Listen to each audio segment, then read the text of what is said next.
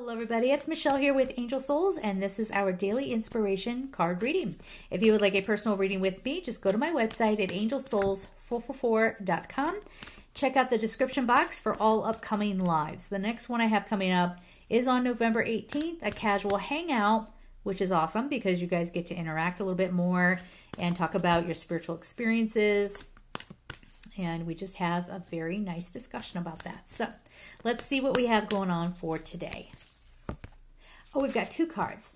We have creative writing, Archangel Gabriel. Make time to write down your thoughts in a journal or pen an article or book and moon cycles. Okay, so we've got some emotions that are coming up to the surface.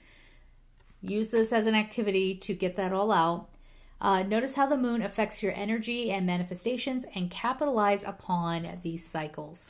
So here is something here where it's like, get focused, right? Get focused. Things are coming up to the surface.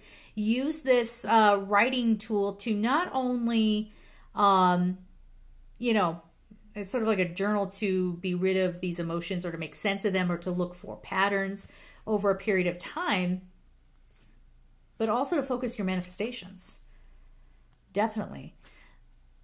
I, I really do feel like with all the messages that are coming up, there's a huge thing about manifesting. If you haven't seen the weekly, go back and watch that. Um, but there's also this thing about distractions. Just a lot of like, oh, this is going on, this is going on, this is horrible. Oh my gosh, what are we going to do? What does that mean? You know, a lot of decisions being made without our permission, you know, that sort of thing. So make sure you're using writing as a tool for your health, number one, and also to help with bringing, you know, focusing what you really want to create. Okay, so we're going to leave it there. I'm sending you all so much love and take care.